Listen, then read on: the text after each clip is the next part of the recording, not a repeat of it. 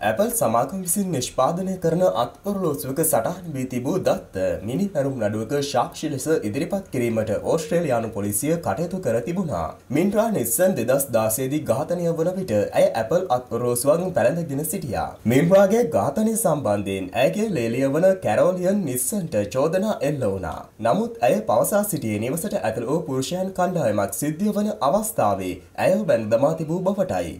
නමුත් කැරෝලියන් පවසා සිටියාට වඩා පැය කිහිපයකට පෙර මින්රා නිවසට ඇතුළු වී ඇති අතර සැඟවී සිට පහරදී ඇයව ඝාතනය කර බවට ස්මාර්ට් අත් ඔරලෝසුවේ සටහන් වී තිබූ දත්ත වලින් හෙළිවුණා. පිරිසක් මෝටර් රථයකින් නැන්දම්මා ලුහුබඳමින් නිවස දක්වා පැමිණි බව කැරෝලියන් පොලිසියට ප්‍රකාශ කර සිටියා. නැන්දම්මා සහ මෙම පිරිස් අතර මිනිත්තු 20ක පමණ කාලයක් බහින් බස් වීමක් සිදු වී තිබෙන අතර එම අවස්ථාවේදී කැරෝලියම් නිවසේ මුල්තැන් ගෙටවින් දොර වසාගෙන සිටි නිසා පහර එල්ල කරන ලද ශබ්දය ඇසී නැති බව කැරෝලියන් පැවසුවා. පැවසූ බවත් සඳහන්. රාත්‍රී දහයට පමණ කැරෝලියන් ඉතා කලබලයට සහ දුකට පත්ව නිවසින් පිටතට එන දුටු අසල්වැසියෙකු ඒ පිළිබඳ පොලිසියට දන්වා තිබෙනවා.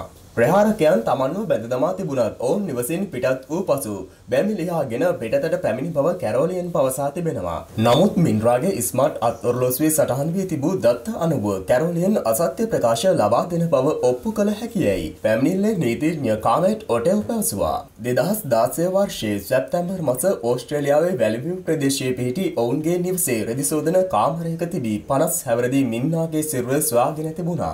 Apple ස්මාර්ට් අත් ඔරලෝසුවෙන් ලබාගෙන තිබූ Shakshi Mata කැරෝලියන් පොලිසියට දීලා තිබෙන ප්‍රකාශ අසත්‍යයි ඔප්පි කරන්න පුළුවන් යයි කාමේට් පවසා තිබුණා. මේ වගේ ඔරලෝසුවකට පුළුවන් එහි තිබෙන සංවේදක මගින් පුද්ගලයෙකුගේ චලනය සහ එය පැළඳගෙන සිටින පුද්ගලයා චලනය වන වේගය ගැන දක්ත ගබඩා කරගන්න.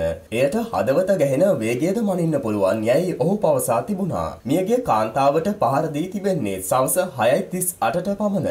සවස 6:45 වෙද්දී ඇය අනිවාර්යෙන්ම මිය ගිහින් තිබෙනවා යයි කාමේට් පවසා තිබුණා. අධිකරණය මේ ශාක්ෂි පිළිගතහොත් මියගේ කාන්තාව සහ පුරුෂයන් අතර නිවසේ රෙදිසෝදන කාමරයෙන් පිටත විනාඩි 20ක කාලයක් බහින් බස් වීමක් සිදු වූ බවට චූදිතයා ඉදිරිපත් කරන තර්කය බිඳ වැටෙනවා. කැරෝලියන් නිවසින් එළියට පැමිණ තිබෙන්නේ රාත්‍රී 10ට පමණ. නමුත් Apple අත් ඔරලෝසුවේ සටහන් වී ඇති දක්ත සාක්ෂි ලෙස පිළිගතහොත් ඇය එළියට පැමිණ තිබෙන්නේ ප්‍රහාරය එල්ල වී පැය 3කට පමණ පසුව බව ඔප්පු වෙනවා. කාමෙන් තවදුරටත් පවසා තිබුණා. ඒ වගේම අපිව subscribe කරන්න අමතක කරන්න එපා කියලා ඔයාලට මතක් කරනවා. අපි වීඩියෝ එකක් දාපු ගමන් දැනගන්න සීනු බටන් එකත් ඔබන්න. මේ වීඩියෝ එක බලුවට ඔයාලට ගොඩක් ස්තුතියි.